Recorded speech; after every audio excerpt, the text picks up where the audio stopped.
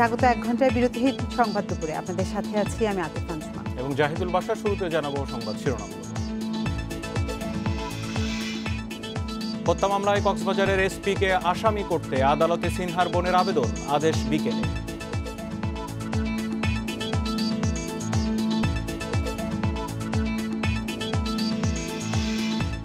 নারায়ণগঞ্জে মসজিদ গ্যাস লাইনের ওপর নির্মিত। অনুমোদনও ছিল না। সংসদে প্রধানমন্ত্রী দগ্ধ আরেকজনের মৃত্যু।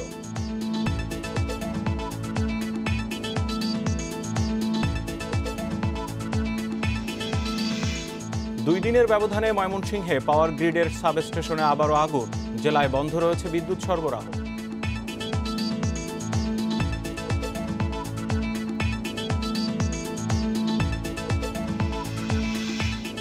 ঢাকাকে এমফিটামিন পাচারের রুট করার চেষ্টা আন্তর্জাতিক চক্রে। বিমানবন্দরে জব্দ সাড়ে চব্বিশ কোটি টাকার মাদক।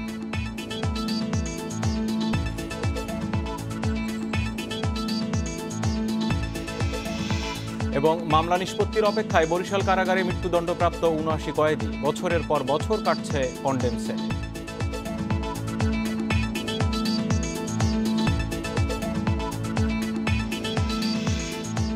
বিরোধীহীন সংবাদ দুপুরে শিরোনাম শুনছিলেন এবার পুরো খবর। অবসরপ্রাপ্ত মেজর সিনহা মোহাম্মদ রাশেদ খান হত্যা মামলায় কক্সবাজারের পুলিশ সুপার মাসুদ হোসেনকে আসামি করার আবেদন করেছেন মেজর সিনহার বড় বোন শারমিন শাহরিয়ার ফেরদৌস। সকালে কক্সবাজারের senior chief chief judicial magistrate আদালতে তিনি এই আবেদন করেন। মামলার বাদী শারমিন জানান, পুলিশ সুপার মাসুদ হোসেন সিনহা হত্যা মামলার আসামিদের সমর্থন করছেন। এই হিসেবে তিনিও আইনের চোখে অপরাধী। পরে বাদীর আইনজীবী সিনিয়র অ্যাডভোকেট মোহাম্মদ মোস্তফা জানান, এসপিকে আসামি করার আবেদন নিয়ে বিকেলে আদেশ দেবেন আদালত। গত একত্রিশ জুলাই রাতে টেকনাফের বাহারছড়া ইউনিয়নের শামলাপুর চেকপোস্টে পুলিশের গুলিতে নিহত হন অবসরপ্রাপ্ত মেজর সিনহা মোহাম্মদ রাশেদ খান। পরে তার বোনের করা মামলায় সাত পুলিশ সদস্য, তিন এপিবিএন পুলিশ সদস্য পুলিশের মামলার তিন সাক্ষীসহ মোট তেরো আসামিকে গ্রেপ্তার করা হয়।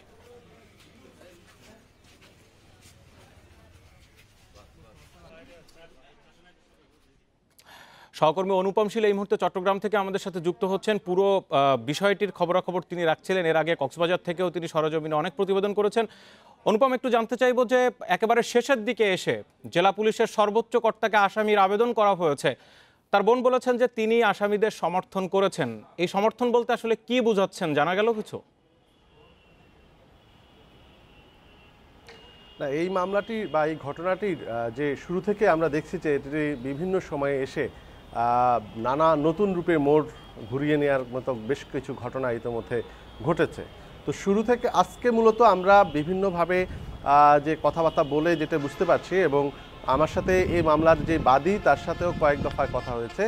মূলত আমরা দেখেছি যে এই ঘটনাটি ঘটার পরে অনেকগুলো ফোন কল বিভিন্নভাবে ভাইরাল হয়েছে। অর্থাৎ বিশেষ করে বিভিন্ন সামাজিক যোগাযোগ মাধ্যম সব বিভিন্নভাবে সামনে এসেছে, গণমাধ্যমেও এসেছে।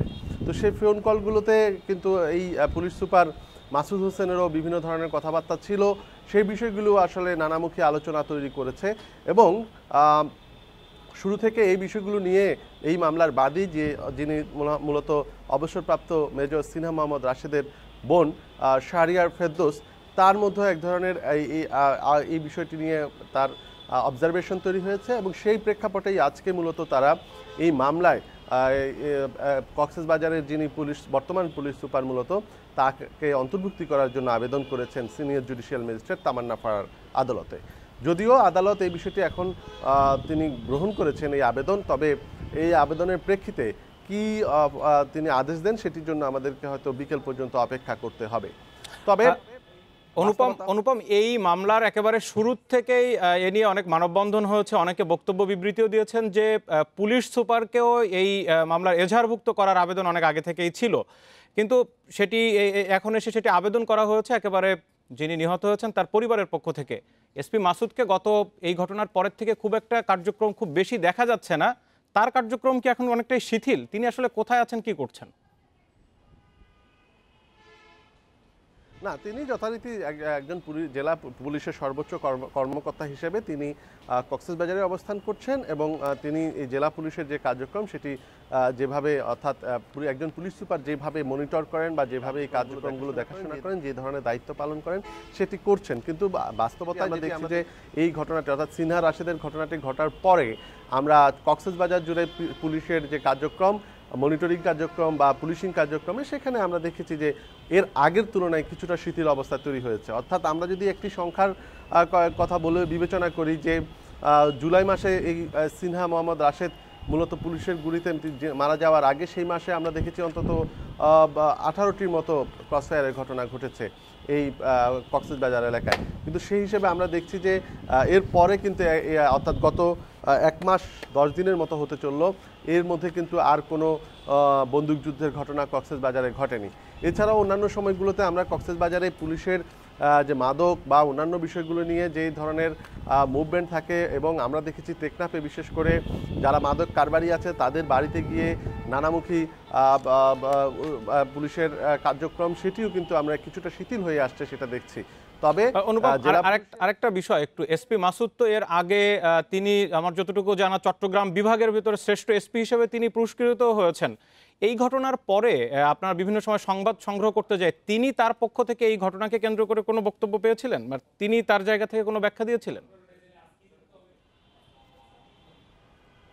না, উনি আনুষ্ঠানিকভাবে আসলে গণমাধ্যমের সাথে এই বিষয়গুলো নিয়ে, অর্থাৎ এই সিনহা মোহাম্মদ রাশেদের বিষয় নিয়ে তিনি কোনো এখনও পর্যন্ত কোনো কথা বলেননি।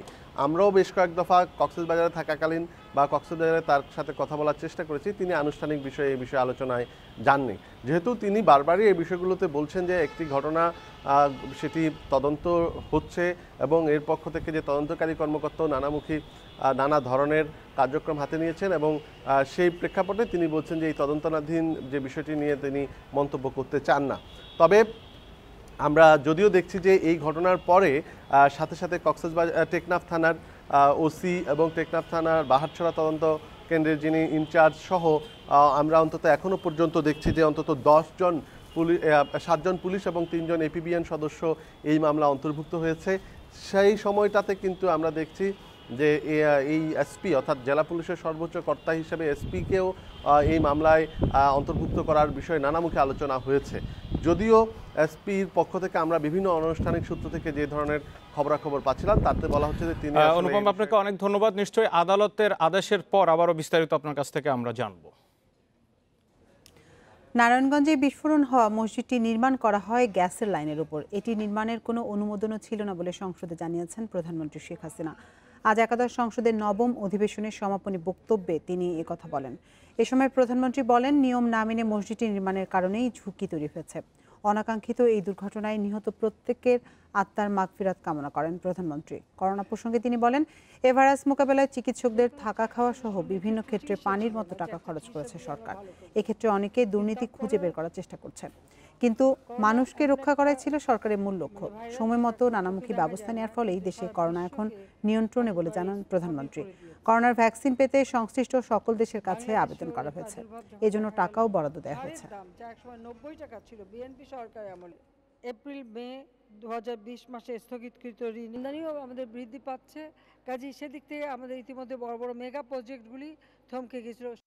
নারায়ণগঞ্জে যে ঘটনাটি ঘটেছে একটি বিস্ফোরণ ঘটেছে, তার ফলে আমরা অনেক মুসল্লিদের হারিয়েছি। নামাজ পড়া অবস্থায় তারা মৃত্যুবরণ করছে, এটা আমাদের অত্যন্ত কষ্টকর। কাজে আমি তাদের সকলের আর তার মাগফরাত কামনা করি।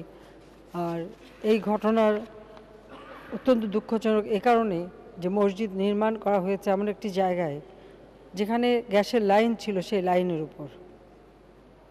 এবং তার কোনো অনুমোদন ছিল না। কোনো নীতিমালা ছিল না বা জায়গাটাও কোনো মসজিদ কমিটির না।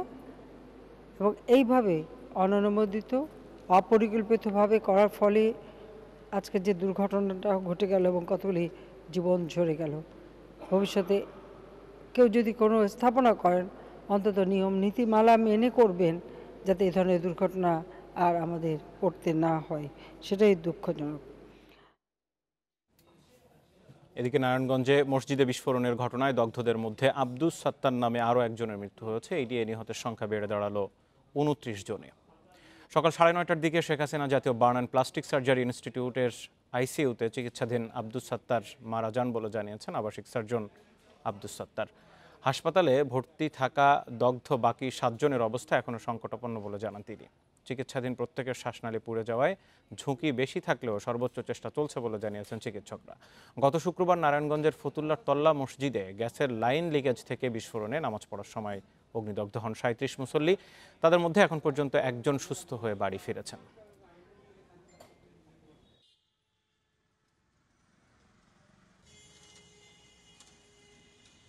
আজকে পর্যন্ত উনত্রিশ জন মারা গেছে, এখন আছে সাতজন একজনকে আমরা সুস্থ করে বাড়ি ফিরতে ফেরতে পেরেছি। যে সাতজন আইসিইউতে আছে, সবাই মেজর বার্ন এবং সবারই শ্বাসনালী পড়ে গেছে, কেউ সংখ্যামুক্ত না। নারায়ণগঞ্জে মসজিদে বিস্ফোরণের ঘটনায় তদন্তের রিপোর্ট দিতে আরও সাত দিন সময় চেয়েছে জেলা প্রশাসনের তদন্ত কমিটি। তদন্ত কমিটির প্রধান অতিরিক্ত জেলা ম্যাজিস্ট্রেট খাদিজা তাহেরা ববি জানান জেলা প্রশাসনের আজ তদন্ত প্রতিবেদন দাখিলের কথা ছিল। কিন্তু প্রয়োজনীয় কাগজপত্র হাতে না পাওয়ায় অতিরিক্ত সময় চাওয়া হয়েছে। ঘটনার পরদিন পাঁচ সদস্যের তদন্ত কমিটি গঠন করে জেলা প্রশাসন। এদিকে এই বিস্ফোরণের ঘটনায় আজই প্রতিবেদন জমা দেওয়ার কথা রয়েছে তিতাসের তদন্ত কমিটির। বিস্ফোরণের ঘটনায় তদন্ত বুধবার শেষ করেছে তিতাসের কমিটি। চার সেপ্টেম্বর এশার নামাজের সময় ফতুল্লার পশ্চিম তল্লা বায়তুস সালাত জামে মসজিদের এই বিস্ফোরণের ঘটনা ঘটে। এ সময় মসজিদের ভেতরে থাকা অন্তত সাঁত্রিশ জন মুসল্লি দগ্ধ হন।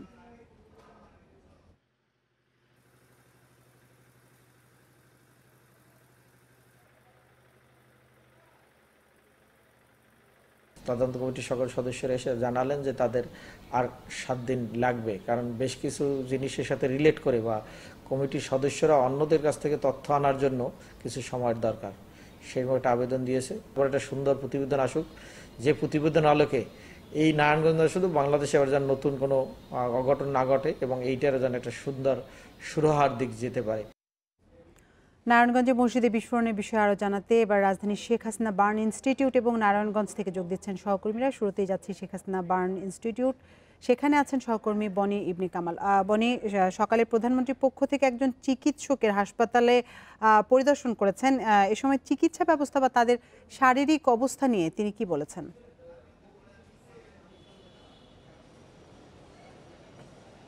দেখুন জুলফিকার আলী লেলিন যখন এখানে আসেন, তিনি আসলে আইসিইউর বাহিরে যান এবং আইসিইউর ভেতরে রোগীদের কী অবস্থা সেটার খোঁজ খবর নেন এবং তারপরে কিন্তু এসে আমাদের গণমাধ্যম কর্মীদের সাথে তিনি কথা বলেন।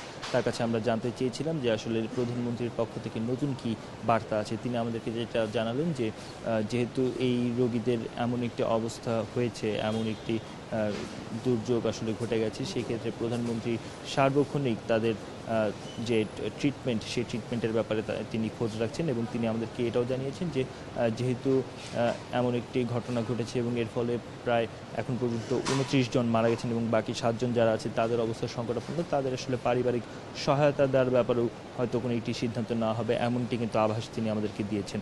আমরা তার কাছে জানতে চেয়েছিলাম যে আসলে চিকিৎসা ব্যবস্থার খোঁজ নিতে যেহেতু তিনি এসেছিলেন, এখানে কোনো কিছুর কমতি আছে কিনা, এমন কোনো ব্যাপার আসলে ঘাটতির ব্যাপার তার চোখে পড়েছে না তিনি আমাদেরকে সাফ জানিয়েছেন যে আসলে কোনো ধরনের কমতি বা ঘাটতি এখানে নেই। সর্বোচ্চ যে চিকিৎসা আসলে দেওয়া উচিত একজন পোড়া রোগীকে বা দগ্ধ রোগীকে, সেই চিকিৎসা ব্যবস্থা কিন্তু এখানে রয়েছে এবং তাদেরকে সে ধরনের চিকিৎসা দেওয়া হচ্ছে। তারপরে আমরা এখানকার প্রধান সমন্বয়ক যিনি আছেন ডক্টর সামন্তলাল সেন, তার সাথে আমরা কথা বলার চেষ্টা করি এবং তিনি আমাদেরকে জানান যে যে সাতজন বর্তমানে আইসিইউতে আছেন তাদের সবার অবস্থাই গুরুতর এবং তাদের সবারই প্রায় সত্তর থেকে নব্বই শতাংশ পর্যন্ত পুড়ে গেছে এবং শ্বাসনালী পুড়ে গেছে সবারই। যার ফলে তিনি এক ধরনের শঙ্কা প্রকাশ করছেন যে আসলে তাদেরকে বাঁচিয়ে তোলা বা স্বাভাবিক জীবনে ফিরিয়ে আনা অনেকটাই বেশি কষ্টকর হবে। তারপর তিনি বলছেন যে সর্বোচ্চ চিকিৎসার মাধ্যমে তারা আশা করছেন যে যেহেতু একজনকে তারা স্বাভাবিক জীবনে ফিরিয়ে দিতে পারছেন এবং তাকে বাড়িতে পাঠাতে পেরেছেন, সেক্ষেত্রে বাকি সাতজনের ক্ষেত্রে তারা সর্বোচ্চ চেষ্টাটাই করে যেতে চান, এমনটি তিনি আমাদেরকে জানিয়েছেন। আর আপনি জানেন যে আজকে সকালে আব্দুল সাত্তার নামে আরও একজন ব্যক্তি মারা গেছেন আমরা কিছুক্ষণ আগে আসলে দেখেছি তার মরদেহ তার পরিবারের কাছে হস্তান্তর করা হয়েছে এবং মরদেহ আসলে নারায়ণগঞ্জের উদ্দেশ্যে নিয়ে যাওয়া হয়েছে বলে আমরা জানতে পেরেছি। বনি আপনি সাথেই থাকুন। এবার আমরা যাব নারায়ণগঞ্জে। সেখানে আছেন সহকর্মী রাকিবুল হাসান। রাকিব, বিস্ফোরণের ঘটনায় জেলা প্রশাসনের তদন্ত প্রতিবেদন জমা দিতে আরও সাত দিন সময় চেয়েছে কমিটি। এর কারণটা কি? আর হচ্ছে তিতাসের তদন্ত প্রতিবেদন কখন নাগাদ জমা হতে পারে? এই প্রতিবেদন সম্পর্কে কিছু জানতে পেরেছেন কিনা? জেলা প্রশাসনের তদন্ত কমিটির কারণ যদি আপনাকে বলি তো এই বিষয়ে আমি যেই জেলা প্রশাসনের তদন্ত কমিটির যে প্রধান ম্যাজিস্ট্রেট জেলা অতিরিক্ত- ম্যাজিস্ট্রেট খাদিজা তাহেরা ববি আমি ওনার সাথে কথা বলেছি। উনি আমাকে যে বিষয়টি জানিয়েছেন যে আসলে এই আহ, যে ঘটনাটি নির্ভুল একটি তদন্ত প্রতিবেদন তারা দাখিল করতে চায় এবং কিছু কাজ তাদের বাকি আছে আহ, আরও একাধিক ব্যক্তির সাথে কথা বলা সহ কিছু তথ্য উপাত্ত তাদের সংগ্রহ করা বাকি আছে। এই কারণে আজকে জেলা প্রশাসনের কাছে তারা আরও সাত কার্য দিবসের তদন্তের দিন বাড়ানোর জন্য তারা একটি আবেদন করেছেন। জেলা প্রশাসক জানিয়েছেন যে আসলে পূর্ণাঙ্গ একটি নির্ভুল, ভালো একটি প্রতিবেদন দাখিল করার জন্যই এই আবেদনটি করেছে এবং তিনিও তাদের তদন্ত কমিটিকে তাগিদ দিয়েছেন যেন যত দ্রুত সম্ভব একটি ভালো তদন্ত প্রতিবেদন তাদেরকে দাখিল করা হয়। তো তিতাসের যে তদন্ত কমিটির বিষয়, এটা যদি বলি, আসলে নারায়ণগঞ্জে এখন পর্যন্ত এখানে তিতাসের কোনো তদন্ত কমিটি আসেনি। আমরা যতটুকু তিতাসের কর্মকর্তাদের সাথে জানতে পেরে, তাদের সাথে কথা বলে জেনেছি যে আসলে এই বিষয়টি হয়তো তারা ঢাকায় তিতাসের কর্মকর্তারা হয়তো কথা বলতে পারেন তদন্তের কমিটির বিষয়ে। নারায়ণগঞ্জে আমাদেরকে এখনও তারা কোনো তথ্য দেয়নি। তো এর পাশাপাশি ঢাকা মেডিকেল কলেজে আজকে যে একজন মারা গিয়েছে, কিছুক্ষণ আগে কিন্তু তার লাশ নারায়ণগঞ্জে আনা হয়েছে এবং স্থানীয় মসজিদে তার লাশের জানাজা সম্পূর্ণ হয় এবং স্থানীয় কবরস্থানে তাকে দাফন করা হবে। তো আপনাকে আরেকটি বিষয় জানিয়ে রাখতে চাই যে মসজিদের পাশে যেই বিদ্যুতের যে খুঁটিটি ছিল, ট্রান্সফরমার ডিপিডিসি কিন্তু তারা সকাল থেকে কাজ করছেন মসজিদের নিরাপত্তার জন্য এবং এই জায়গা থেকে কিন্তু তারা ট্রান্সফরমারটি কিছুক্ষণ দূরে তারা তারা সেখানে স্থানান্তর করে সেখানে স্থাপনের কাজ শুরু করেছেন। এবং যেই তিতা তিতাসের যেই মাটি খুঁড়ে পাইপ লিকেজের বিষয়টি তারা কাজ করেছিল। আজ সকালে কিন্তু সেই গর্তগুলি তারা ভরে দেওয়ার কাজ করছেন রাকিব প্রসঙ্গত একটি বিষয় জানতে চাই যে তিতাসের পক্ষ থেকে যে মাটি খুঁড়ে তারা লিকেজ খোঁজার চেষ্টা করেছিল সে কারণে আহ, গত দুদিন ধরে প্রায় বিশ হাজার পরিবার গ্যাস সংযোগ বিচ্ছিন্ন ছিল। এখন সেখানকার কি অবস্থা?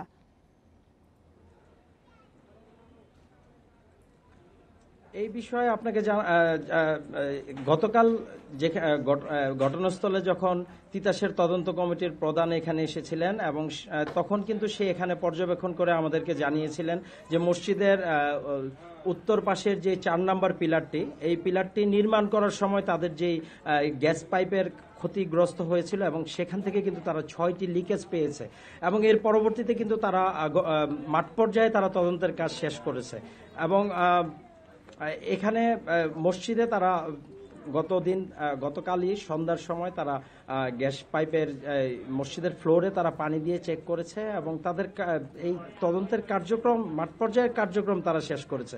এখন তিতাসের যেই তদন্ত রিপোর্ট, এটাই তারা পূর্ণাঙ্গ, তারা রেডি করছেন এবং এটাই তারা জমা দেওয়ার প্রক্রিয়ার মধ্যে আছে। রাকিব, এলাকায় গ্যাস সংযোগ দিতে মানে কবে নাগাদ গ্যাস গ্যাস সংযোগ দেয়া হতে পারে?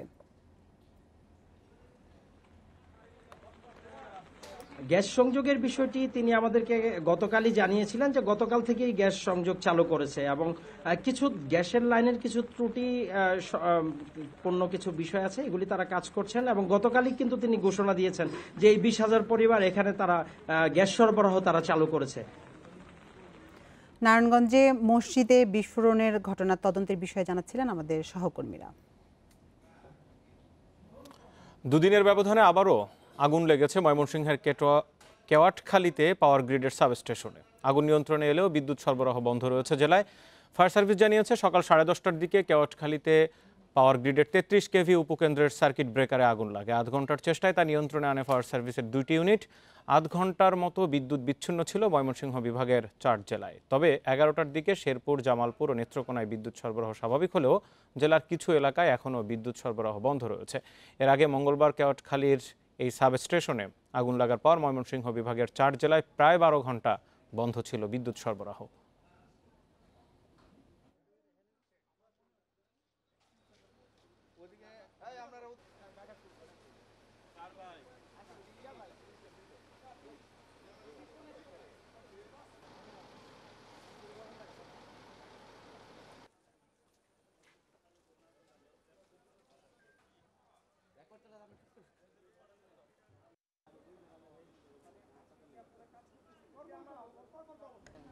নেত্রকোনা নৌকাডুবির ঘটনায় এখনও অন্তত বারো যাত্রী নিখোঁজ রয়েছেন। তাদের উদ্ধারে সকাল আটটা থেকে কাজ শুরু করেছে ফায়ার সার্ভিস। ফায়ার সার্ভিসের চার ইউনিটের সাতাশ জন সদস্য উদ্ধার তৎপরতা চালাচ্ছেন।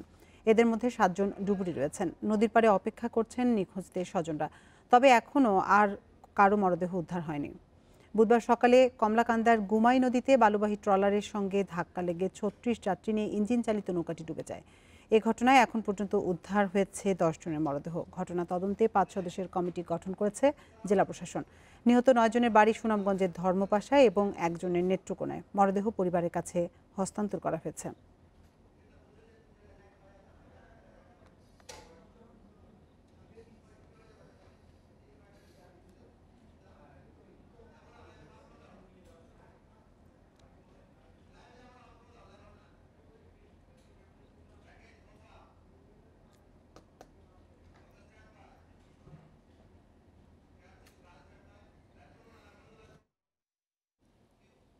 উনত্রিশ সেপ্টেম্বর ভার্চুয়াল প্ল্যাটফর্মে বসছে বাংলাদেশ ভারত পররাষ্ট্রমন্ত্রী পর্যায়ের বৈঠক। আলোচনা হবে সীমান্ত হত্যা বন্ধ, তিস্তা সহ অভিন্ন নদীর পানি বন্টন ইস্যুতেও। পররাষ্ট্র সচিব মাসুদ বিন মোমেন জানান, বৈঠক অনলাইনে হবে, তাই কোনো সমঝোতা সই হবে না। বাংলাদেশ ভারতের পররাষ্ট্রমন্ত্রী পর্যায়ের যৌথ পরামর্শ কমিশন জেএসিসির সর্বশেষ বৈঠক হয় দিল্লিতে। গত বছরের ওই বৈঠকে বাংলাদেশের পক্ষে অংশ নেন এ কে আব্দুল মোমেন ও ভারতের তখনকার পররাষ্ট্রমন্ত্রী সুষমা স্বরাজ। এতে মোংলায় ভারতীয় অর্থনৈতিক অঞ্চলে বিনিয়োগ সহায়তা সহ চারটি সমঝোতা সই হয়। এবার করোনা পরিস্থিতিতে ষষ্ঠ বৈঠক ভার্চুয়ালি আয়োজন করছে ঢাকা।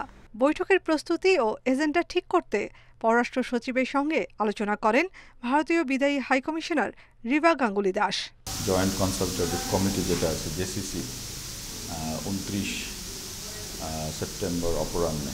সেই মিটিংয়ে এটা তো একটা অন্যতম একটা এজেন্ডা যে how to minimise this kind of undesirable deaths সেটা নিয়েও আলোচনা হবে।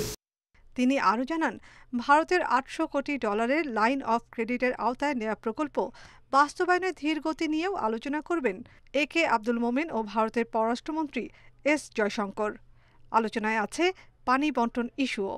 পানি সংক্রান্ত শুধু তিস্তা নয়, আরও অন্যান্য আমাদের যে নদীগুলো আছে অভিন্ন সেগুলো নিয়েও আলোচনা এবং সেটার ব্যাপারেও আমরা দুই মন্ত্রী মহোদয় যদি একটা ইন্ডিকেশন দেন তাহলে আমরা হয়তো আগামীতে হয়তো বসতে পারি জেআরসি ফরম্যাটে লাইন অফ ক্রেডিট যেগুলোর মাধ্যমে বেশ কিছু প্রজেক্ট আছে, সেগুলোর অগ্রগতি পর্যালোচনা করা এবং একটা মেকানিজমের কথা আমরা ইতিমধ্যে শুনেছি যে সচিব পর্যায়ে এটা ওভারসি করার বিষয়টা। তো সেইগুলোতেও হয়তো দুই দেশের মন্ত্রীরা হয়তো একটা সুনির্দিষ্ট একটা দিক নির্দেশনা দিবেন। জেএসিসির বৈঠকের পরই সিদ্ধান্ত পর্যালোচনা করতে দিল্লি সফর করবেন ঢাকার পররাষ্ট্র সচিব। Nafizaddoula Independent News, Dhaka. আগে যেমনটি জানিয়েছিলাম, নেত্রকোনায় নৌকা ডুবিতে দশজনের মরদেহ উদ্ধার করা হয়েছে। আরও বারো জন নিখোঁজ রয়েছেন। এ বিষয়ে বিস্তারিত জানাতে নেত্রকোনা থেকে আমাদের সাথে যুক্ত হচ্ছেন সহকর্মী লাবলু পাল চৌধুরী। লাবলু এখনও তো বারো জন নিখোঁজ রয়েছে, তো নিখোঁজদের উদ্ধারের তৎপরতার বিষয়ে সবশেষ কি তথ্য আছে আপনার কাছে?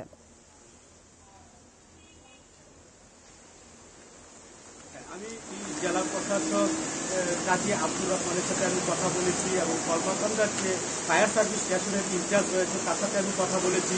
তারা কিন্তু সকাল আটটা থেকে চারটি ইউনিটের নেত্রকোনা সদর এবং কলমাকান্দা ময়মনসিংহ এবং কিশোরগঞ্জের চারটি ইউনিটের সাতাইশ জন ফায়ার সার্ভিসের কর্মী, এর মাঝে সাতজন ডুবুরি তারা কিন্তু বিভিন্ন স্পিড বোট এবং ছোটো ছোটো নৌকা নিয়ে তারা দুই থেকে আড়াই কিলোমিটার এলাকা জুড়ে কিন্তু তারা সার্চ করছে। যেটি কালকে সন্ধ্যা থেকে তার সাড়ে দশটায়ও সার্চ করেছিল এখনও করেছে।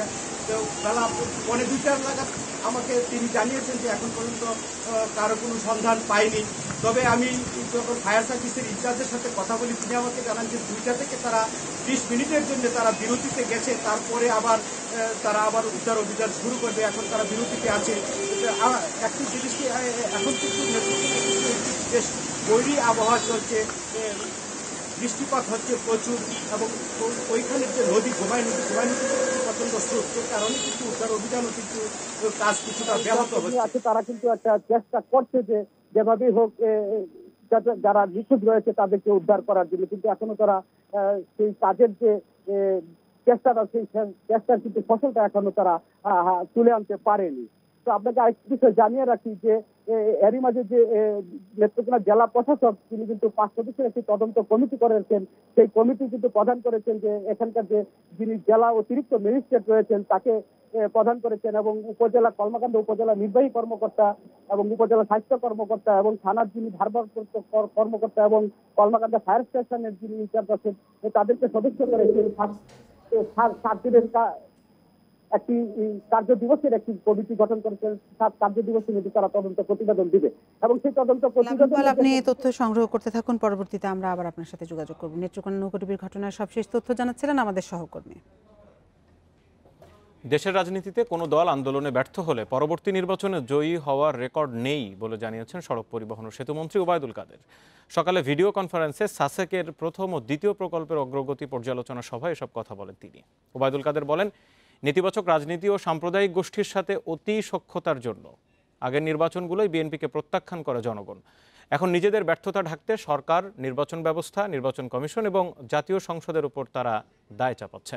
পরে দেশের চলমান প্রকল্পসমূহ সম্পর্কে ওবায়দুল কাদের বলেন, এসব প্রকল্পে যারা দায়িত্ব পালন করছেন, তাদের আরও সতর্ক দায়িত্বের সাথে কাজ করতে হবে।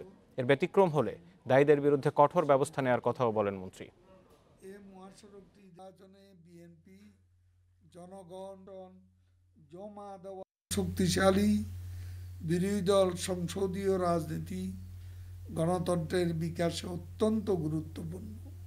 কিন্তু নির্বাচনে বিএনপি জনগণ কর্তৃক প্রত্যাখ্যাত হলে তাদের নেতিবাচক রাজনীতি, তাদের নির্বাচনী রাজনীতিতে ভোটের ক্ষেত্রে সংকুচিত করলে এতে সরকারের দোষ কি? তারা আন্দোলনেও ব্যর্থ হন, এদেশে আন্দোলনে ব্যর্থ হলে পরবর্তী নির্বাচনে জয়ী হওয়ার রেকর্ড নেই। এমফিটামিন নামের মাদকের ঘাঁটি মিয়ানমার আর ঢাকাকে রুট হিসেবে ব্যবহার করে তা পাচারে জড়িত আন্তর্জাতিক চক্র। এসব তথ্য দিয়েছেন মাদকদ্রব্য নিয়ন্ত্রণ অধিদপ্তরের মহাপরিচালক মোহাম্মদ আহসানুল জব্বার। দুপুরে রাজধানীর সেগুনবাগিচায় সংস্থাটির প্রধান কার্যালয়ে সংবাদ সম্মেলনে তিনি আরও জানান, বাংলাদেশে এই মাদক উৎপাদিত হয় না। গতকাল হজরত শাহজালাল আন্তর্জাতিক বিমানবন্দরে জব্দ হওয়া বারো কেজি তিনশো বিশ গ্রাম এমফিটামিনের আনুমানিক মূল্য চব্বিশ কোটি চৌষট্টি লাখ টাকা। বিমানবন্দরে রপ্তানি কার্গো ভিলেজে ডুয়েল ভিউ স্ক্যানারে নিরাপত্তা তল্লাশির সময় এই মাদকের সন্ধান পাওয়া যায়। দেশের ইতিহাসে রপ্তানি কার্গোতে মাদক পাচারের সময় জব্দ করার ঘটনা এবারই প্রথম। এ ঘটনায় আটক করা হয়েছে ছয়জনকে আমরা সবাই নাগরিক যে আমাদের দেশে কখনো মাদকদ্রব্য উৎপাদন হয় না। এবং এটা একটা ট্রানজিট পয়েন্টও না। যেহেতু একটা সুবিধা, আমাদের জিওগ্রাফিক্যাল একটা সুবিধা পয়েন্টে সেখান দিয়ে যাচ্ছিল এটা এটা। আমাদের একটা ট্রানজিট পয়েন্ট হিসেবে বাংলাদেশটা কখনো আমরা কাউন্ট করি না। বিমানবন্দরে উন্নয়ন ও নিরাপত্তা ফি আরব প্রবাসী কর্মীদের জন্য বাড়তি বোঝা হিসেবে দেখছেন বিশেষজ্ঞরা। তারা বলছেন, এতে আকাশযাত্রার খরচ বাড়লেও বাড়ছে না সেবার মান। বেসামরিক বিমান চলাচল কর্তৃপক্ষ বলছে বিমানবন্দরের নিরাপত্তার জন্য আধুনিক যন্ত্র স্থাপন করা হচ্ছে। আর এজন্যই যাত্রীদের কাছ থেকে নেওয়া হচ্ছে উন্নয়ন ও নিরাপত্তায় ফি দেশের ভেতরে ও বাহিরে ভ্রমণের ক্ষেত্রে যাত্রীদের জন্য উন্নয়ন ও নিরাপত্তা ফি কার্যকর হয় গত ষোলো আগস্ট থেকে। এতে দেশের ভেতরে ভ্রমণের জন্য একশো সত্তর টাকা, সার্কভুক্ত দেশে নয়শো বিশ টাকা ও অন্যান্য দেশের ক্ষেত্রে গুনতে হচ্ছে অতিরিক্ত এক হাজার সাতশো টাকা। সেবার মান না বাড়িয়ে এ ধরনের ফি অযৌক্তিক বলছেন বিশেষজ্ঞরা। তাদের মতে, এমনিতেই করোনার জন্য স্বাভাবিক সময়ের চেয়ে অনেক বেশি দামে টিকিট কিনতে হচ্ছে প্রবাসীদের। তার উপর এই ফি খরচের বোঝা বাড়াচ্ছে।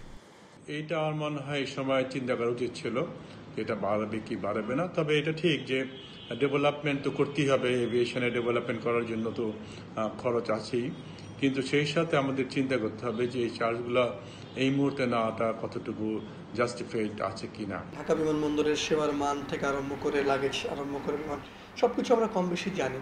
তো সেই ক্ষেত্রে নতুন নতুন ফি চাপিয়ে দিলে যেটা হবে যে দিন শেষে সেটা প্রবাসীদের একটা বাড়তি বোঝা হয়ে যাবে। তারা তো জীবন জীবিকার তাগিদে সে হয়তো এটা দিতে বাধ্য হবে। প্রবাসীদের সেবা বৃদ্ধির জন্য বিমানবন্দরে হেল্প ডেস্ক খুব শিগগিরই স্থাপন করা হবে বলে জানিয়েছে বেসরকারি বিমান চলাচল কর্তৃপক্ষ। আমরা এখানে হেল্প ডেস্ক দিয়েছি। আমরা হেল্প ডেস্কের লোক নিয়োগ করতে যাচ্ছি। প্রেসিডেন্টদের জন্য আলাদা আলাদা বসার ব্যবস্থা করছি। অনেকে ফর্ম ফিল আপ করতে পারে না, তাদেরকে সাহায্য করার জন্য।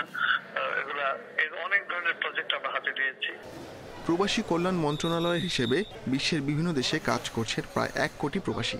তাদের একটি বড় অংশের অভিযোগ, দেশের বিমানবন্দরে কাঙ্ক্ষিত সেবা পান না তারা। Ashik Hossain Independent News Dhaka. Barishal কেন্দ্রীয় কারাগারের কন্ডেম সেলে বছরের পর বছর রয়েছেন মৃত্যুদণ্ডপ্রাপ্ত উনআশি কয়েদি। মামলা নিষ্পত্তি না হয় কন্ডেম সেলে কারও কেটে গেছে ষোলো বছর। বিষয়টি দ্রুত সমাধানের দাবি স্বজনদের। আর আইনজ্ঞরা বলছেন, মৃত্যুদণ্ডপ্রাপ্ত আসামিদের সর্বোচ্চ কতদিন কন্ডেম সেলে রাখা যাবে, সে বিষয়ে সুনির্দিষ্ট সময়সীমা থাকা প্রয়োজন। বরিশালে কাউনিয়া এলাকার এক যুবককে হত্যার দায়ে দু হাজার সাত সালে মৃত্যুদণ্ড দেওয়া হয় ওই এলাকার বাসিন্দা মাসুদ রানা ও তার মামা তারেক হাসানকে। সেই থেকে এখন পর্যন্ত তারা রয়েছেন কন্ডেম সেলে। মামলাটি আটকে আছে উচ্চ আদালতে। মামলা চালাতে গিয়ে অনেক আগেই ভিটে ছাড়া হয়েছে পরিবারটি। আমার পুরো নির্দেশ থাকে। তোমার বাবা ছাড়িয়ে দাও। আর? আমার কষ্ট দেওয়া হয় বাবা মা যে জমি রেখে গেছে সেই জমি বিক্রি করে এই মামলা পরিচালনা করি। এখন আমরা মনে করেন এক হিসেবে ভাইও হারা, আবার মনে করেন ভিটাও হারা। দুহাজার তিন সাল থেকে কন্ডেম সেলে বন্দি, ফাঁসির দণ্ডপ্রাপ্ত পটুয়াখালীর ফোরকান। ষোলো বছর ধরে কন্ডেম সেলে রয়েছে উজিরপুরের শহীদুল সহ আরও চারজন। সব মিলিয়ে বরিশাল কেন্দ্রীয় কারাগারে দশ থেকে সতেরো বছর ধরে কন্ডেম সেলে আছেন ষোলো জন। আইনজ্ঞরা বলছেন বছরের পর বছর ধরে আলো বাতাসহীন কন্ডেম সেলে মৃত্যুদণ্ডপ্রাপ্তদের আটকে রাখা এক অপরাধে দুবার সাজা ভোগের সামিল। তাই কন্ডেম সেলে রাখার সর্বোচ্চ সময়সীমা নির্দিষ্ট করে নূতন আইন করার তাগিদ তাদের কারণেই এই মামলাগুলো আসলে চলে যাচ্ছে এটা ন্যায় বিচার স্বাধীন রাষ্ট্রে ন্যায় বিচার পরিপন্থী বলে আমি এটা মনে করি। ন্যায় বিচারের স্বার্থে এই বিচার ব্যবস্থাগুলো বিলম্ব না করে অ্যাটর্নি জেনারেল অফিস এবং চিফ জাস্টিসের অফিস সমন্বয়ে তারা দ্রুত এগুলো নিষ্পত্তির জন্য ব্যবস্থা নিতে পারে বছরের পর বছর ধরে অনেকেই কারাগারে আটকে থাকার কথা স্বীকার করে কারা কর্তৃপক্ষ বলছে মামলার নিষ্পত্তির বিষয়টি উচ্চ আদালতের এখতিয়ার। ফাঁসির আসামির যাবতীয় সিদ্ধান্ত বিজ্ঞ বিজ্ঞ আদালতের উপরে নির্ভর করে আপনি জানেন। যে অনেক আসামি আছে যারা নিম্ন আদালত হতে সাজাপ্রাপ্ত ফাঁসির আদেশ হওয়ার পরে ওনারা হাইকোর্ট মহামান্য হাইকোর্টে শরণাপন্ন হয়েছেন। ফাঁসির দণ্ডপ্রাপ্ত বন্দী অর্থাৎ কন্ডেম সেলে যে বন্দী থাকবে তাদের সাথে সাধারণ বন্দীদের কোনো প্রকার যোগাযোগের সুযোগ নেই। সেই ক্ষেত্রে তাদের শুধুমাত্র কন্ডেম সেল এলাকার মধ্যেই তাদেরকে আবদ্ধ রাখতে হয়। বর্তমানে তিন নারীসহ উনআশি জন আসামি বরিশাল কেন্দ্রীয় কারাগারের কন্ডেম সেলে বন্দী আছেন। Independent News desk. আপনারা দেখছেন এক ঘণ্টা বিরতিহীন সংবাদ সংবাদে আরও যা যা থাকছে। ভারতে একদিনে সর্বোচ্চ পঁচানব্বই হাজার জনের করোনা শনাক্ত। বিশ্বে মারা গেছে আরও প্রায় ছয় হাজার।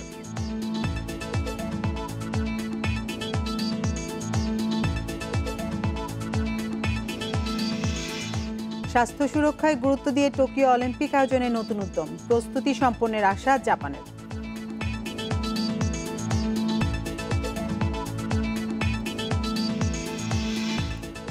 নামের মিলে কি কাল হয়েছিল? চট্টগ্রামের বায়াজিদের স্কুল ছাত্র জয়নালের বন্দুকযুদ্ধে নিহত হওয়ার এক বছর পর উঠেছে এ প্রশ্ন। জয়নালকে নিহত দাবি করে একটি হত্যা চেষ্টা মামলা থেকে অব্যাহতির আবেদন এবং পরে আরেক জয়নালের আদালতে হাজিরা। উস্কে দিয়েছে সন্দেহ। দু সালের সেপ্টেম্বরে এলাকায় একটি মারামারির ঘটনায় বায়াজিৎ থানা পুলিশ বাড়ি থেকে তুলে নেয় স্কুল ছাত্র জয়নালকে। পরদিন স্থানীয় একটি হাসপাতালে পাওয়া যায় তার মরদেহ। পুলিশ জানায়, বন্দুকযুদ্ধে তার মৃত্যু হয়েছে। সে মাসেই দু হাজার আঠারো সালের একটি চুরি ও হত্যা চেষ্টা মামলার অভিযোগপত্র আদালতে জমা দেয় পুলিশ। সেখানে দাবি করা হয়, মামলার আসামি জয়নাল বন্দুকযুদ্ধে নিহত হয়েছেন। চলতি বছরের ফেব্রুয়ারিতে ওই মামলার শুনানির দিন আইনজীবীর মাধ্যমে আদালতে সশরীরে হাজির হন আরেক জয়নাল। এতে প্রশ্ন উঠে, তবে কি নামে মিল থাকায় বন্দুকযুদ্ধে প্রাণ গেছে স্কুলছাত্র জয়নালের? বাদী বলে যে মোহাম্মদ জয়নাল সে জীবিত। সে আমি প্রত্যেকদিন তাকে ঘোরাঘুরি করতে দেখি এবং সে কোডও আছে। চুরি ও হত্যা চেষ্টা মামলায় স্কুল ছাত্র জয়নালের কোনো সংশ্লিষ্টতাই ছিল না দাবি তার পরিবারের। তার মায়ের অভিযোগ স্থানীয় ওয়ার্ড কাউন্সিলর মোবারকের সঙ্গে দ্বন্দ্বের জেরে তাকে তুলে নিয়ে বন্দুকযুদ্ধে হত্যা করা হয়েছে।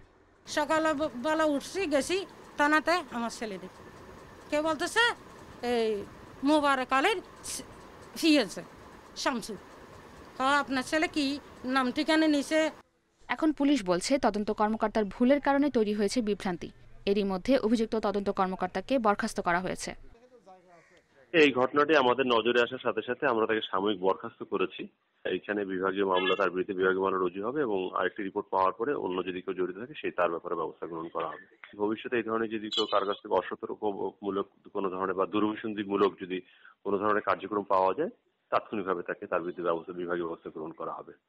স্কুল ছাত্র জয়নাল হত্যার সুষ্ঠু বিচার চেয়েছে তার পরিবার। Independent News desk. চট্টগ্রামের বাইজিদে নামের মিলে জয়নাল নামের একজন বন্দুকযুদ্ধে নিহত হয়েছে, নাকি ভুল করে চার্জশিট থেকে নাম বাদ দেওয়া হয়েছে তা খতিয়ে দেখছে পুলিশ। দুপুরে সিএমপি কার্যালয়ে সংবাদ সম্মেলনে এসব কথা জানান সিএমপির নবনিযুক্ত কমিশনার সালে মোহাম্মদ তানভীর। সিএমপির থানাগুলোতে নগরবাসী যাতে হয়রানি ছাড়া সেবা পান, সেটি নিশ্চিত করা হবে বলেও জানান তিনি। পূর্ববর্তী কমিশনার মহোদয়, উনি তাকে বরখাস্ত করেছেন। এটা একটি তদন্ত প্রক্রিয়ার মধ্যে আছে। আমি আপনাদেরকে এটুকু নিশ্চয়তা দিতে পারি যে আমরা অত্যন্ত প্রফেশনালি এই বিষয়টি ডিল করব। আপনারা জানেন, এটা আমরা একাধিকবার বলেছি যে ব্যক্তির দায় প্রতিষ্ঠান নেবে না। দেশের বাজারে বেড়েই চলেছে স্বর্ণের দাম। মাঝে দুই দফা কমলেও আবারও বেড়েছে স্বর্ণের দাম। এবার প্রতি ভরিতে এক হাজার সাতশো পঞ্চাশ টাকা দাম বাড়ানোর সিদ্ধান্ত নিয়েছে বাংলাদেশ জুয়েলার্স সমিতি বাজুস। আজ থেকে কার্যকর হয়েছে স্বর্ণের নতুন দর। বুধবার স্বর্ণের নতুন দাম নির্ধারণ করে সংবাদ সংবাদ বিজ্ঞপ্তি প্রকাশ করে বাজুস। নতুন সিদ্ধান্ত অনুযায়ী বাইশ ক্যারেট স্বর্ণের দাম দাঁড়িয়েছে চুয়াত্তর হাজার আট টাকা, একুশ ক্যারেট সত্তর হাজার আটশো আটান্ন টাকা, আঠারো ক্যারেট বাষট্টি হাজার একশো দশ টাকা এবং সনাতন পদ্ধতির স্বর্ণ প্রতি ভরি বিক্রি হবে একান্ন হাজার সাতশো আটাশি টাকায়।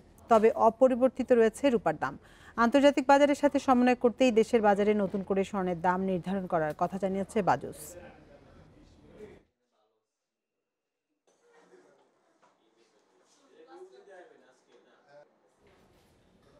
মোবাইল ব্যাংকিং লেনদেনের মাধ্যমে প্রতিদিন গ্রামে যাচ্ছে এক হাজার তিনশো কোটি টাকা, যা চাঙ্গা করছে গ্রামীণ অর্থনীতিকে। পাশাপাশি করোনায় মোবাইল ব্যাংকিংয়ের উপর মানুষের নির্ভরশীলতা বাড়ায় জুলাই রেকর্ড, তেষট্টি হাজার কোটি টাকা লেনদেন হয়েছে এই খাতে। অপারেটররা বলছেন, মানুষের আর্থিক অন্তর্ভুক্তি আরও বাড়াতে নেওয়া হচ্ছে নতুন নতুন উদ্যোগ। অনলাইনে কেনাকাটা, বিল কিংবা বেতন পরিশোধকে ঝামেলামুক্ত করেছে মোবাইল ব্যাংকিং। যে কোনো সময় ইচ্ছে মতো টাকা উঠানো, পাঠানো ও মোবাইল ফোনে রিচার্জের সুবিধাও আছে। করোনায় এর জনপ্রিয়তা বেড়েছে আরও বেশি, কারণ এর মাধ্যমে সামাজিক দূরত্ব নিশ্চিত করেই সব সুবিধা পাচ্ছেন গ্রাহকরা। গত জুলাইয়ে মোবাইল ব্যাংকিংয়ে লেনদেন হয়েছে তেষট্টি হাজার কোটি টাকা, যা জুনে ছিল পঁয়তাল্লিশ হাজার কোটি। বর্তমানে গড়ে প্রতিদিন লেনদেন হচ্ছে দুই হাজার কোটি টাকা। উন্নত দেশ হওয়ার one of the major criteria হচ্ছে ফাইন্যান্সিয়াল ইনক্লুশন আর এটা আসলে কোনো ব্যাংকের পক্ষে খুব ডিফিকাল্ট যদি ব্যাংকের পক্ষে পসিবলই হতো, তাহলে লাস্ট বিশ বছরে মাত্র এগারো পার্সেন্ট মানুষ ফাইন্যান্সিয়াল ইনক্লুশন থাকতো না।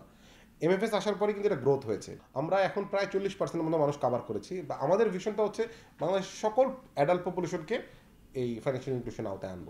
যেহেতু এই পদ্ধতিতে কন্ট্যাক্টলেস পেমেন্ট হয় ট্রানজ্যাকশন হয়, মানুষ উত্তরোত্তর এই সেবা গ্রহণ করেছে। আমরা জুলাই মাসে যে প্রবৃদ্ধিটা দেখেছি মূলত এই কারণেই এই প্রবৃদ্ধিটা হয়েছে। সংশ্লিষ্টরা বলছেন করোনায় মানুষ মোবাইল ব্যাংকিং সেবায় যেভাবে অভ্যস্ত হয়েছে স্বাভাবিক সময়ে তা কয়েক বছর সময় লাগতো। তাই এখন সেবার মান বাড়িয়ে খরচ কমানোর দিকে নজর দেওয়ার তাগিদ দিচ্ছেন অর্থনীতিবিদরা। কোভিডের সময় গ্রামীণ অর্থনীতিকে চাঙ্গা করবার জন্য এটা খুব কাজে লেগেছে। অন্তত তেরোশো কোটি টাকা প্রতিদিন শহর থেকে গ্রামে যাচ্ছে। এবং এতে গ্রামীণ অর্থনীতি বিশেষ করে গ্রামীণ যে ভোগ, ভোগের পরিমাণ বাড়ছে এবং ভোগ বাড়লে পরেই চাহিদা বাড়ে। বর্তমানে মোবাইল ব্যাংকিং এর গ্রাহক সংখ্যা দাঁড়িয়েছে সোয়া নয় কোটিতে, আর এর মধ্যে সোয়া চার কোটি সক্রিয় গ্রাহককে সেবা দিচ্ছেন দশ lakh agent. Sajjad Hossain, Independent News, Dhaka. ভারতে চব্বিশ ঘন্টায় সর্বোচ্চ পঁচানব্বই হাজার জনের করোনা শনাক্তের রেকর্ড হয়েছে। বুধবার দেশটিতে নতুন করে প্রাণহানি হয়েছে এক হাজার একশো আটষট্টি জনের। এদিকে বিশ্বে আবারও বেড়েছে করোনা মৃতের হার। একদিনে প্রায় ছয় হাজার জনের মৃত্যু হয়েছে। এ নিয়ে মোট মৃত্যু নয় লাখ সাত হাজার ছাড়ালো একদিনে নতুন দুই লাখ সত্তর হাজার শনাক্ত নিয়ে মোট শনাক্ত দুই কোটি আশি লাখের বেশি। বুধবার যুক্তরাষ্ট্রে এগারোশো চুয়ান্ন জন ও ব্রাজিলে এগারোশো ছত্রিশ জনের প্রাণ গেছে করোনায়। দুই দেশে চৌত্রিশ হাজার নতুন রোগী শনাক্ত হয়েছে। এদিকে শুরুতে করোনা ভাইরাসের ভয়াবহতার কথা জানলেও সাধারণ মানুষ যাতে ভীত না হয়, তাই একে সাধারণ সর্দি, কাশি আখ্যা দিয়েছিলেন মার্কিন প্রেসিডেন্ট ডোনাল্ড ট্রাম্প। এক সংবাদ সম্মেলনে এ কথা জানান তিনি। ফ্রান্সে একদিনে সাড়ে আট হাজার রোগী শনাক্ত হয়েছে। বিস্তার বাড়ায় চেক রিপাবলিকে মাস্ক পরা বাধ্যতামূলক করা হয়েছে। করোনা সংক্রমণের হার বিবেচনা করে একশো ষাট দেশে ভ্রমণ নিষেধাজ্ঞায় পরিবর্তন আনছে জার্মানি।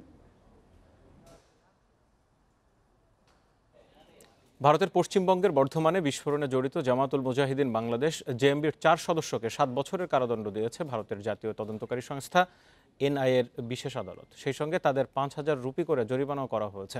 অনাদায়ে আরও পাঁচ মাসের কারাদণ্ডের নির্দেশ দেওয়া হয়েছে। সাজা পাওয়া চার জঙ্গি হলেন মোহাম্মদ ইউনুস, মতিউর রহমান, জিয়াউল হক ও জহিরুল শেখ। দু হাজার চোদ্দ সালের দুই অক্টোবর বর্ধমানের খাগড়াগড়ে একটি বাড়িতে বিস্ফোরণে দুজন নিহত হন। সিআইডি থেকে পরে মামলা তদন্তের দায়িত্ব পায় এনআইএ। তদন্তে এই বিস্ফোরণে জেএমবির সংশ্লিষ্টতার প্রমাণ পাওয়া যায়। ধীরে ধীরে সচল হতে শুরু করেছে দেশীয় ক্রীড়াঙ্গন। খেলাধুলা, মাঠে ফেরানোর চেষ্টা চলছে। শুধু ব্যক্তিগত নয়, উন্মুক্ত করা হয়েছে সকল ইভেন্ট তবে মানতে হবে সরকারের দেয়া স্বাস্থ্যবিধি। যে কোনো ফেডারেশন চাইলে শুরু করতে পারবে ক্যাম্প। সেক্ষেত্রে নতুন করে অনুমতির দরকার নেই বলে জানিয়েছে জাতীয় ক্রীড়া পরিষদের সচিব মাসুদ করিম। ফুটবল দিয়ে দেশের ক্রীড়াঙ্গনে ফেরার প্রক্রিয়া শুরু করেছিল যুব ও ক্রীড়া মন্ত্রণালয়। এরপর স্বাস্থ্যবিধি মেনে ক্রিকেটারদের অনুশীলনের ব্যবস্থা করে ক্রিকেট বোর্ড। ক্রীড়া মন্ত্রণালয়ের সবুজ সংকেত থাকলেও বডি কন্ট্রাক্ট ইভেন্টগুলোতে নিষেধাজ্ঞা বহাল ছিল। একজনের সাথে একজনের স্পর্শটা একটু বেশি। তো সেখানে এটা তাদের জন্য এটা চালু করাটা একটু সমস্যা। করোনার প্রভাবে ক্রিয়াঙ্গনে স্থবিরতা ছিল প্রায় ছয় মাস ধরে। কিছু খেলা স্বল্প পরিসরে চালু হলেও বাকি ইভেন্টের খেলোয়াড়রা পড়েছিলেন অনিশ্চয়তায়। এমন অবস্থায় ফেডারেশনগুলোর দাবি ছিল, চালু করা হোক খেলা।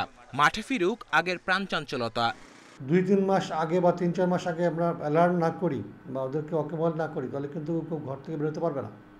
আমরা ইচ্ছে করলেই কিন্তু পরশু দিন বা পনেরো দিনের মধ্যে একটা কম্পিটিশন আয়োজন করতে পারব না। কিন্তু খেলোয়াড়দেরকে তারা প্র্যাকটিসের সময় দিতে হবে। তাদের দল গঠনের সুযোগ দিতে হবে। এইগুলি একটা বড় প্রসিডিউরস আছে। সেই জন্য আমি মনে করি যে আমাদের এখনই উপযুক্ত সময়।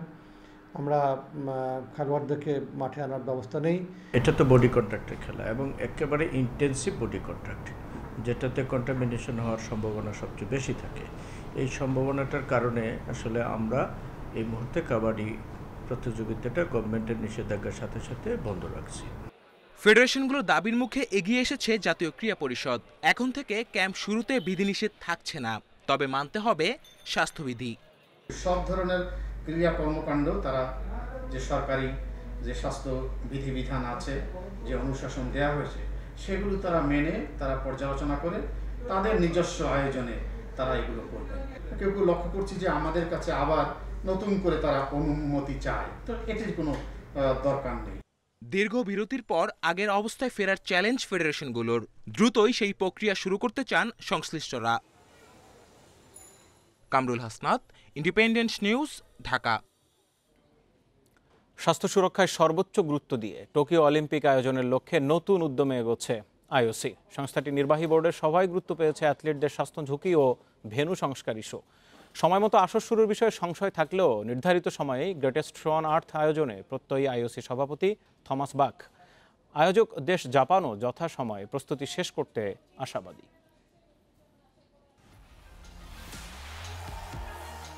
সব ঠিক থাকলে আগামী বছরের তেইশে জুলাই শুরু হওয়ার কথা দ্য গ্রেটেস্ট অন আর্ট অলিম্পিকের বত্রিশতম আসরের। বদলায়নি গেমসের অন্যান্য সূচি কিংবা ভেনু করোনা মহামারীর ধাক্কায় এক বছর পিছিয়ে যাওয়ার পর পরিবর্তিত পরিস্থিতিতে আইওসির সর্বোচ্চ গুরুত্ব পাচ্ছে অ্যাথলিটদের স্বাস্থ্য সুরক্ষা। একুশে জুলাই মেয়েদের সফটবল দিয়ে শুরু হবে মাঠের লড়াই। বিয়াল্লিশটি ভেনুতে রেকর্ড তেত্রিশটি খেলার তিনশো উনচল্লিশটি ইভেন্ট। গেমস ভিলেজ আর প্রেস সেন্টার লোকেশনে পরিবর্তন হয়নি। মেয়েদের দশ মিটার এয়ার রাইফেল দিয়ে শুরু হবে মেডেল ইভেন্ট। মহামারীর পর সম্ভবত প্রথম বৈশ্বিক আসর টোকিও অলিম্পিক। অন্যান্য বড় ক্রীড়া ইভেন্ট কীভাবে হচ্ছে সেদিকে আমাদের নজর আছে। আশা করি আগামী বছর পরিস্থিতির উন্নতি হবে। নিরাপদ স্বাস্থ্য পরিবেশ নিশ্চিতের জন্য অংশগ্রহণকারী সবাইকে যদি কোয়ারেন্টিনেও রাখতে হয় তবে তাই করা হবে। অনেকেই টোকিও অলিম্পিকে শেষ দেখেছিলেন তবে আসর আয়োজনে আমরা সঠিক পথে আছি। সব ভেনু প্রস্তুত সূচিও চূড়ান্ত। সম্মিলিত প্রচেষ্টায় নির্ধারিত সময়ে শুরু হবে আসর। করোনা মহামারী পৃষ্ঠপোষকতার অভাবের পর দেখা দিয়েছে নতুন সমস্যা। অস্বাভাবিক গরমের কারণে বাধাগ্রস্ত হতে পারে গ্রেটেস্ট শো অন আর্থ আয়োজনে। পরিস্থিতি অসহনীয় পর্যায়ে গেলে সুষ্ঠুভাবে আসর আয়োজন নিয়ে সন্দিহান টোকিও অলিম্পিকের উপদেষ্টা মাকোতো ইয়োকো হারিও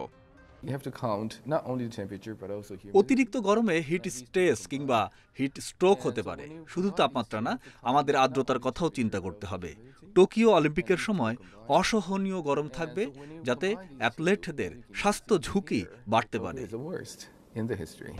অলিম্পিক এক বছর পিছিয়ে যাওয়ায় দুই থেকে ছয় বিলিয়ন ডলার ক্ষতির মুখে পড়েছে জাপান। আয়োজকদের বিশ্বাস সূচি অনুযায়ী বাণিজ্যিক প্রচারণার মাধ্যমে এই ক্ষতি কাটিয়ে ওঠা সম্ভব। মোহাম্মদ নাজিম ইন্ডিপেন্ডেন্ট নিউজ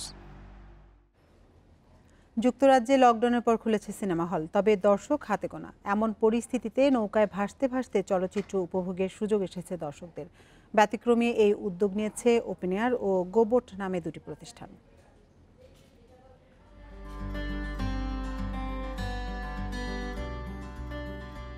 বিশাল এলইডি স্ক্রিনে দেখানো হচ্ছে সিনেমা। ওয়্যারলেস হেডফোন কানে দিয়ে নৌকায় বসে তা উপভোগ করছেন দর্শক।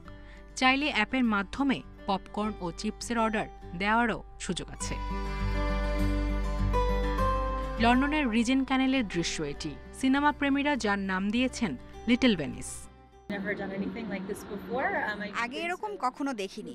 পার্ক কিংবা ছাদে বসে সিনেমা দেখেছি কিন্তু নৌকায় সিনেমা দেখা এটাই প্রথম। ব্যাপারটি খুব রোমাঞ্চকর।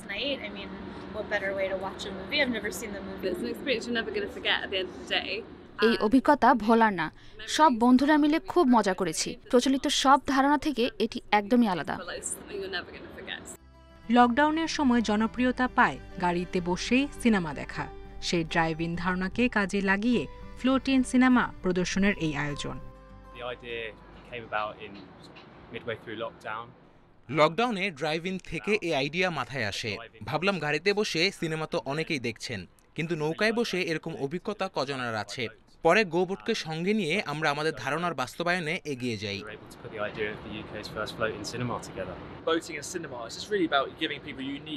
একসঙ্গে নৌকায় চড়া আর সিনেমা দেখা দারুণ অভিজ্ঞতা। করোনা প্রতিরোধে সরকারের স্বাস্থ্যবিধির নির্দেশ মেনেই সব ব্যবস্থা করা হয়েছে।